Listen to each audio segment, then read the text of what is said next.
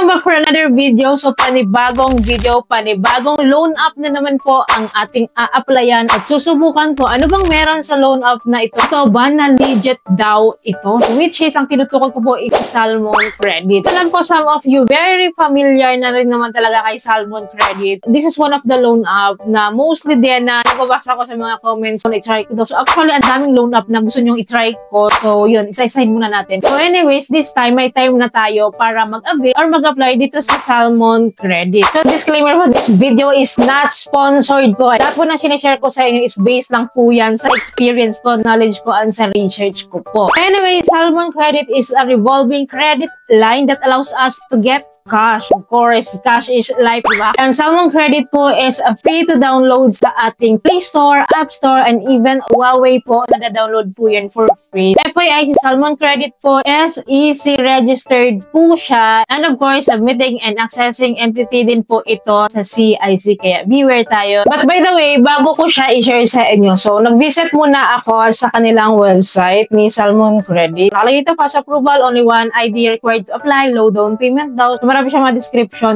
dito regarding nga po kay Salmon Credit and then baba lang natin. Also, nakalagay dito flexible financing terms and then help you grow sales after 55% and more. Fast approval in under 10 minutes to keep customers happy. A wide array of sales incentives to motivate our team. So, yun. Marami po siyang schools. So, meron po siyang pang individual, meron siyang pang merchant. So, anyways, baba lang natin. No? And then sa news and updates po sa Salmon. So, nakikipag parang collab siya. Si Salmon Credit po is malaking financial company po siya. So, meron na siyang agreement with NetBank. So, meron na siyang mga ka-tied up na ganun. Ano. Ito yung mga news and updates po ni Salmon. So, nakikipag-tied up po si Salmon sa ibang banks and then meron din silang award na natatanggap din. Then, may mga bagong features po si Salmon and then dito po, marami siyang partnership eh. And then, dito sa may last, nakalagay dito, Salmon expands payment channels with EasyPay partnerships. Ang dami lang partnership. Kaya makikita mo talaga na legit na legit tong si Salmon. Anyway, isa pa nakalagay dito, Salmon is operated by FinTech Holdings Limited which offers platform as a service to the following Salmon's partners. So, ang dami nila, Sun Prime Finance, FHL Finance, yung mga ganun po. Ang dami niya ka-tied up and then makikita mo talaga na hindi siya basta-basta ang loan up. Actually, na-notice ko na siya before pero wala pa kasi siyang online access dati. Parang alam niya yung home credit financing before na dati pupunta pa tayo sa mga agent, ganyan-ganyan. Tapos ngayon parang nandito na siya sa app. So, ganun din po si Salmon noon. So, nag-finance siya like kung gusto mong kumuha ng mga appliances or like other products po na partners nila. So, parang ganun din siya. So, good news lang po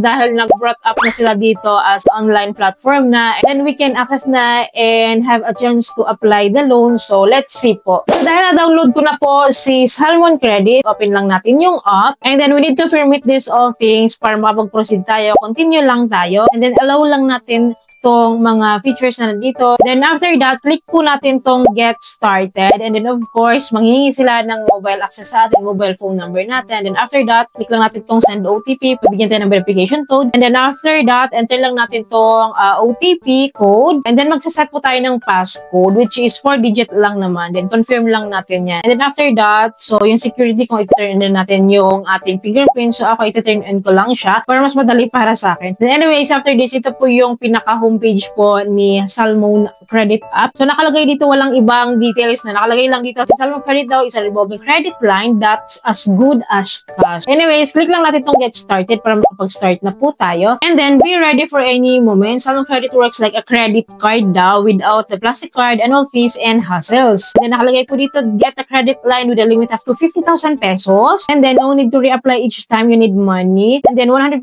digital means no stolen cards and illegal skimming. So continue lang po tayo. And then, fill up lang po natin natin personal information dito. Then, after that, continue tayo. And then, magsasend po sila sa atin ng email verification. And then, ready to go to our email po para i-verify po natin itong Salmon Credit app. Right after that, so, confirm lang natin tong email na to para ma-verify na po yung ating Salmon Credit app. Then, right after that, so, verified na po. So, open natin yung Salmon app. And then, nakalagay dito, we successfully verified our account sa through email nga po. Then, continue lang tayo. And then, we need to fill up also the current address details like the address where you currently live type of housing, length of stay, housing situation. Then after that, continue tayo. And then sa next step po is the permanent address po. Nilagay ko lang din na same as the current address. And after that, continue tayo. And then nakalagay dito sa next, total amount of money you get in months. So enter lang po natin yung monthly income natin dito. Then after this, continue tayo. And then sa next po is our main source of income. Then we need to check lang these mga choices dito. Then after this po, continue lang tayo. And then next po is the employment details. So fill up lang natin tong mga hinihingi nila. Then right after here po, continue lang tayo. And then, nanghihingi din po sila ng ating work address. So kung ayaw mo ibigay yung work address mo, okay lang naman. Check mo lang yung I don't have an exact work address. Then continue lang tayo. And dito po sa next step is the other source of income. So nasa sayo kung meron kang other source of income, check mo na lang kung saan ka nakapaloob dyan. Then continue lang po tayo after this. Then dito po nanghihingi po sila ng personal reference or yung character reference po. So isa lang naman po hinihingi nila. Then kapag napila pa na po natin yan, continue lang tayo. Then agad-agad po manghihingi sila ng face verification. So click lang po natin itong start face scan. Then after that, allow lang natin to take video or photo. So ayan. So blink-blink lang tayo dyan. After this po, so face scan verified na daw. So continue lang tayo. Then right after this po is the ID verification naman. So ngayon, pipicture na natin yung front ID. Then after that nila mapicture na, detect na rin po nila yung info sa ID. We need to review na lang the ID information kung ano pang kailangan natin i-fill up dito. Then kung okay na, click lang natin tong continue. And then agad-agad po magkakaroon sila ng countdown na 2 minutes na i-review daw nila yung application. Pero ito, sa case ko po is hindi po siya umabot ng 2 minutes is nag-inform na rin sa akin sa Salmon Credit na I got approved daw. So para malaman natin kung magkano yung na-approve sa atin, so click lang natin tong continue. And then ito yung lalabas. So let's do a final check. So yung credit limit na on-offer nila sa akin is 3,000 pesos. And then yung interest rate per day po is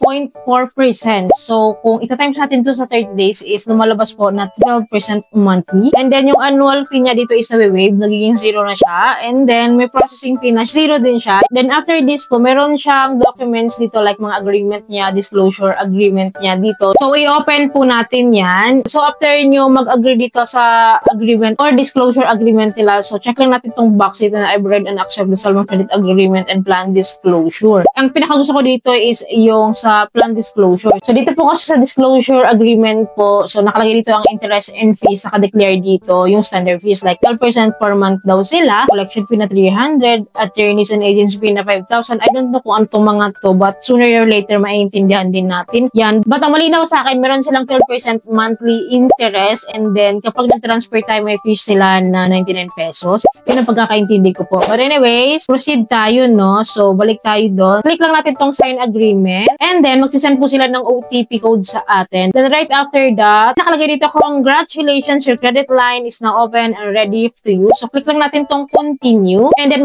magdadirect po tayo sa dashboard po ni Salmon Credit, which is nandito na nga po, nag-reflect na nga po yung aking approved amount na 3,000 pesos. So, i-click natin ito. So, upon clicking po, no, mayroon pa-advertise dito sa Salmon Credit, which is magagamit daw natin to to scan na QR code and pay with no fees. And then, next tayo. And then, makakapag-transfer daw tayo or makakapag-cash out tayo. And at the same time din po, makakapag-cash in tayo dito. So, meron kasing QR pay itong si Salmon Credit. So, pwede natin gamitin yung available credit limit dito to pay online or to pay via QR code, yung mga ganun po. Of course, ang pinakagusto nating part dito is transfer, di ba? Yung ika-cash out natin tong available balance na ito. So, for me po, dahil first time ko lang naman pong mag-apply dito sa Salmon Credit and meron tayong offer na 3,000 pesos, which is not really bad na din, ano, as first time and talagang easy approval tayo dito. Hindi tayo ganong nahirapan, hindi tayo ganong pinaghintay ni Salmon Credit. Ang bilis lang din pala ma-approve dito sa Salmon Credit. And yun nga, ita-transfer ko siya, ita-cash out ko siya para malaman ko ano bang meron dito kay Salmon Credit. Kasi gusto ko pong matry kung nag increase ba siya ng legit si Salmon Credit. Magkano ba talaga interest rate niya sa available credit limit natin. And maganda kasi na ma-experience ko siya mismo para kung hindi niyo siya gusto, at least nag-risk na ako on your behalf para may idea kayo and aware kayo sa cash withdrawal kay Salmon Credit. But in the next video ko na lang po yun ha, on how to withdraw or how to transfer on how to cash out Salmon Credit. And ipapakita ko yun sa inyo step by step sa next